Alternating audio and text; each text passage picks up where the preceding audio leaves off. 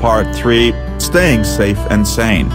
1. Rely on your family, friends, and loved ones.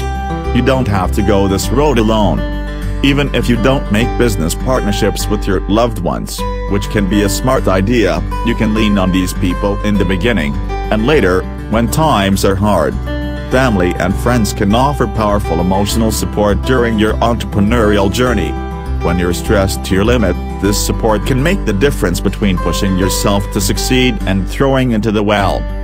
Talk to your family and make sure they agree with your overall business plan, because you may, at times, have to tax your family's resources, time, money, health, and nerves.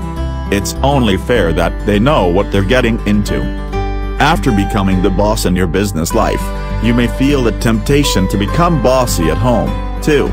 Don't act on this temptation.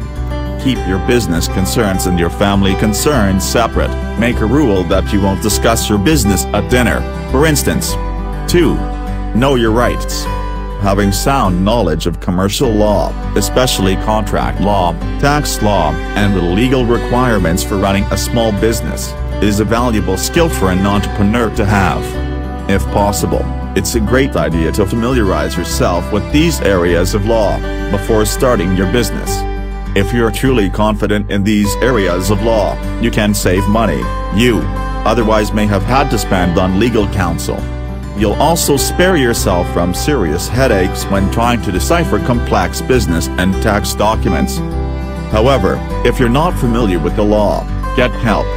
The money you spend on a lawyer can save you many times your initial investment, for instance, by preventing you from getting into damaging contracts. 3. Look after your physical, mental and emotional state.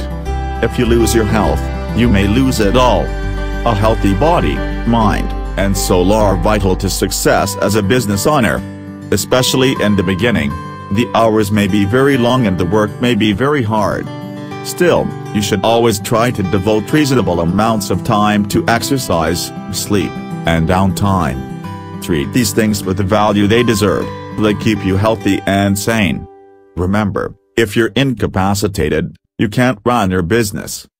Try to get income protection insurance, especially if your job is one with a risk of injury. A self-employed person cannot afford to lose income to this possibility. 4. Get the work-life balance right. Do all things in moderation.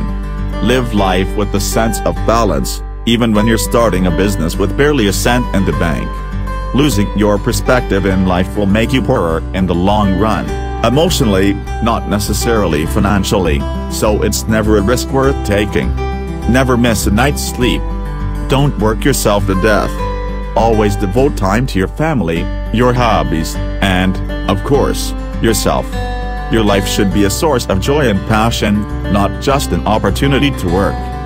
Additionally, you should never rely on drugs to aid your performance ability or to replace your regular healthy eating and exercise plans. This will, in the long run, break you down and cause you to make irrational, emotional decisions which are never a good thing in business.